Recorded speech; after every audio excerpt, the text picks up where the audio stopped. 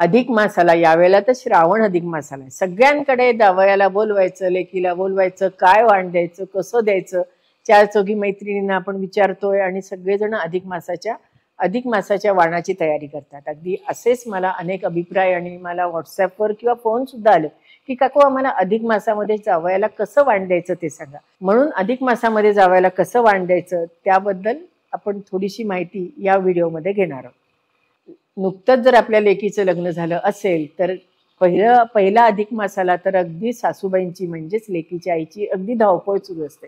हे करू का ते करू कधी जेवायला बोलवू? अशी मनातल्या मनात का होईना पण सगळी तयारी झालेली असते. दहा जणींना विचारलं जातं की नक्की मी काय करू? कारण अधिक मास हा जसा पवित्र आहे तसाच तो क अधिक मासाचं वाण हे कौतुकाने दिलं जातं. अधिक मासाचं वाण देताना जावई आणि लेकीला आपण घरी जेवायला बोलवायचं असतं. आता जावई आणि लेका लेकीला ह्या महिन्यामध्ये अधिक महत्त्व का? कारण ह्याचं कारण असं आहे की तुम्हाला आठवत असेल की ज्यावेळेला आपण लेकीचं लग्न करतो त्यावेळेला लक्ष्मीनारायणाचा जोडा म्हणून आपण लेकीला आणि जावयाला नमस्कार करतो. जरी आपण आई वडील असू तरी सुद्धा लेकी आणि जावयाला नमस्कार करतो. हो की नाही? आठवत आहे ना तुम्हाला? म्हणजेच आपला लेख आणि जावई हा लक्ष्मीनारायणाचा जोडा आहे. आणि आपण अधिक महिन्यामध्ये तर विष्णूची सेवा करतोच. हो की नाही? आणि म्हणून अधिक महिन्यामध्ये लेकीला आणि जावयाला आपण घरी बोलवतो. त्यावेळेला सागर संगीत आपण स्वयंपाक करतो पण एक मात्र आहे बरं का नुसतंच लेकी आणि जावयाला बोलवली त्या दिवशी आपण सासू सासरे किंवा घरी जाऊ असेल दीर असेल नणंद असेल त्यांना पण बोलवावं. कारण त्यांचं आपल्या लेख आणि जावयाचं कौतुक बघायला सुद्धा सगळी मंडळी असतील तर केव्हाही चांगलं. आणि हे कौतुक बघायला आपल्या घरची मंडळी बोलवली तरी सुद्धा काही हरकत नाही. मग अशा वेळेला आपण स्वयंपाक काय करायचा? तर काय नाही नेहमीचा आपला सागर संगीत स्वयंपाक करायचा. परंतु याच्यामध्ये विशेष म्हणजे पुरणाचे धोंडे केले जातात आणि म्हणूनच अधिक महिन्याला धोंडे मास असंही म्हटलं जातं. ते अगदी तिसन तीस केले पाहिजे असं नाही बरं का. थोडेसे आपण नविद्यापूर्ती केले तरी सुद्धा चालू शकतात. मग याच्यामध्ये काही गोष्टी आपल्या जावयाच्या लेकीच्या आवडीच्या केल्या तरी चालतात पण पुरणाचे धोंडे मात्र विसरायचे नाही मग हा सगळा स्वयंपाक झाला की आधी देवाला नैवेद्य दाखवायचा. मग जावई आणि लेक आल्यानंतर गप्पा टप्पा झाल्या. गप्पा टप्पा होतात पहिल्यांदा मग आपण जेवायला बसवतो. जेवायला बसवल्यावर जावई आणि लेकीच्या ताटापुढे रांगोळी काढावी दक्षिणा ठेवावी एक विड्याचं पान ठेवावं उदबत्ती ठेवावी. तसाच थाट आपण सासू सासऱ्याने इतर लोकांचा केला तरी सुद्धा चालू शकतो.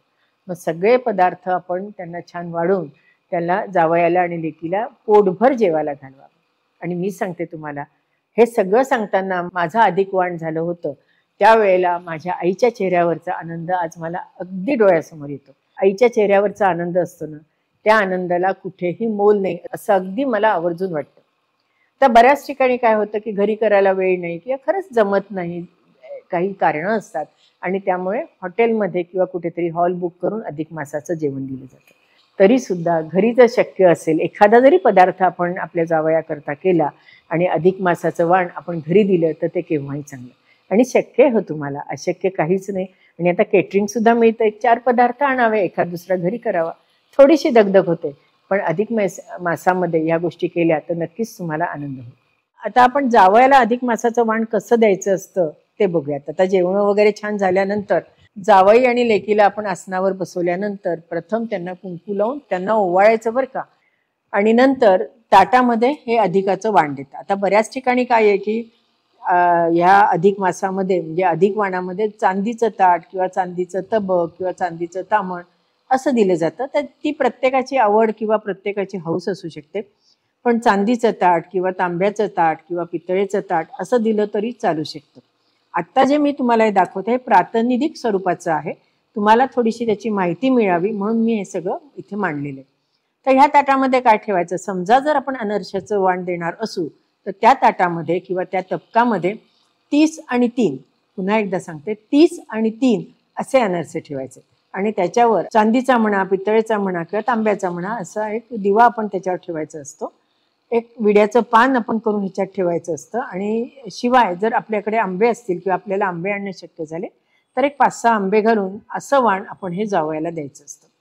परंतु काय होतं की काही वेळेला अनर्से मिळत नाही किंवा आपण करू शकत नाही अशा वेळेला ज्या ज्या पदार्थांना जाळी असते त्या त्या पदार्थांचं वाण आपण जावायला देऊ शकतो. त्याकरता आपण मैसूर पाक देऊ शकतो आणि हे बत्तासे आहेत ते देऊ शकतो. आता बत्तासे सुद्धा मोठे मोठे छान मिळतात. असे आणले तरी चालतात किंवा छोटे आणले तरी चालतात. आणि फक्त एकच बघावं की तुटका फुटका असा बत्तासा देऊ नये. मोजून तीस आणि तीन द्यावे. तर बराच वेळ तुमच्या लक्षात आलं असेल की मी तीस आणि तीन का म्हणतात? म्हणते तर कारण हे वाण देताना मी तेहतीस अनर्शाचं वाण दिलं मी तेहतीस बत्ताशाचं वाण दिलं असं कधी म्हणू नये. तीस आणि तीन म्हणावं असं माझ्या आईनी सांगितलं आणि तेच आई या नात्याने मी आज तुम्हाला सांगते. आता अनर्शाला अपूपदान असंही म्हणतात. अपूप म्हणजे काय? तर जाळीदार पदार्थ. तांदूळ किंवा गव्हाच्या पिठामध्ये तूप आणि गुळ घालून केलेला जो जाळीदार पदार्थ म्हणजेच अनरसा हा या दिवशी ह्या अधिक वाणाच्या निमित्ताने जावयाला दिलं जातं. पण त्याचबरोबर मघा सांगितल्याप्रमाणे म्हैसूर पाक आणि बत्तासे सुद्धा दिले जातात.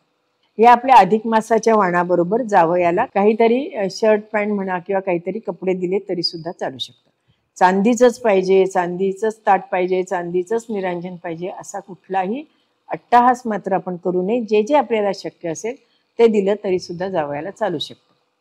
जावयाचं कौतुक झालं आता आपल्याला लेकीचं कौतुक करायचं. लेकीच्या कौतुकाकरता मी साडी घेतलेली आहे. त्याच्यात ब्लाऊज पीस आहे. नंतर तांदूळ नारळ बदाम खोबरं एक रुपयाचं नाणं आणि शिवाय एक आंबा. असं लेकीची सुद्धा आपण ओटी भरायची असते. लेकीला जावयाला तर आपण वाण दिलं. पण त्याबरोबर आपले लेकीचे सासू सासरे असतील तर त्यांनाही काही द्यावं. नणन जाऊवली असेल तर त्यांनाही त्यांचाही सन्मान करावा असं मला नेहमी वाटतं. आणि त्याच्यामध्ये जो एक त्याच्यामध्ये जो एक आनंद असतो ना तो वेगळा असतो. आता ती वस्तू लहान आहे का मोठी आहे असं देणाऱ्यानेही कधी बघू नये आणि घेणाऱ्याने कधी बघू नये. त्यामागच्या भावना या अतिशय महत्त्वाच्या असतात. आता हे अधिकाचं वाण हे किती वर्ष करायचं? काही जण म्हणतात पाच वर्ष करावं पण अधिकाचं वाण हे लग्न झाल्यावर पाच वर्षच असं नाही. जोपर्यंत आपल्याला ताकद आहे तोपर्यंत अधिकाचं वण आपण जावई आणि लेकीला दिले तरी सुद्धा चालू शकतं. समजा जर आपल्याला जावई आणि लेख नाहीये जसं मला लेख नाहीये मग अशा वेळेला एखादी आपली पुतणी असेल भाची असेल तिला सुद्धा आपण हे वाण दिलं तरी सुद्धा चालू शकतं. आता हे जे दोन्ही वाण मी दाखवलेत प्रातिनिधिक स्वरूपाचे आहेत. म्हणजे तुम्हाला हे कसे मांडावेत कसे द्यावेत त्यात काय काय असावं हे सांगण्याकरता हे प्रातिनिधिक स्वरूपाचे मी तुम्हाला हे वाण दाखवले होते. पण तुम्ही कुणालाही देऊ शकता कुठल्याही आपल्या लेकीला देऊ शकता अगदी मानलेल्या लेकीला सुद्धा घरी जेवायला बोलून हे वाण देऊ शकता. आणि तेही न शक्य नसेल तर आपले जे गुरुजी असतात त्यांना दिलं तरी सुद्धा चालू शकतं. अधिकाचं वाण तर आपण दिलंच म्हणजे त्याच्याबद्दल माहिती गेली घेतलीच. पण त्याबरोबर आपण महिनाभर देवापुढे एखादं निरांजन किंवा समयी आपण लावावी आणि ते दान सुद्धा आपण आपल्या गुरुजींना देऊ शकतो. तसंच तांबूल दान देण्याचं सुद्धा अधिक मासामध्ये खूप महत्त्व बरं का. अधिक मासामध्ये आणखीनही आपण काही व्रत वैकल्य किंवा नेम करू शकतो असं म्हणूयात. की एक वेळेलाच जेवायचं. एकभुक्त म्हणतात त्याला. आणि त्यावेळेला मौन म्हणजेच न बोलता आपण ते जेवायचं हे असाही नेम करू शकतो. रोज देवाला जायचं असाही नेम करू शकतो. तीर्थक्षेत्री जाऊन तिथे स्नान करणे तिथल्या देवाचं दर्शन घेणे असाही आपण नेम करू शकतो. महिन्यातनं एकदा गेलं तरी सुद्धा चालू शकतं. एखाद्या आवडत्या वस्तूचा त्याग सुद्धा आपण अधिक मासामध्ये करू शकतो. आता समजा माझी आता आवडती वस्तू म्हणजे एक जिलबी आहे. तर महिनाभर मी जिलबी खायची नाही. किंवा आवडते वस्तू माझी रोजचं साधवरण भात आहे. तर महिनाभर मी साधवरण भात खायचा नाही. ह्या सगळ्या नियमामुळे मुख्य म्हणजे असं होतं की आपल्या मनावर एक प्रकारचा कंट्रोल येतो.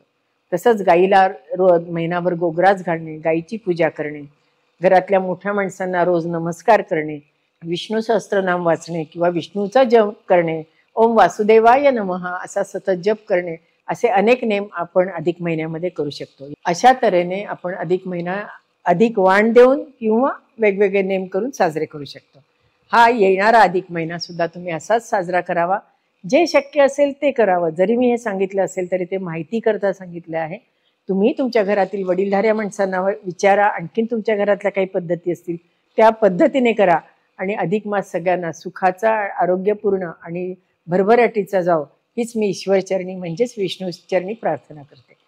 अनुराधा चॅनलला लाईक करा शेअर करा सबस्क्राईब करा आणि हो अभिप्राय द्यायला विसरू नका. धन्यवाद.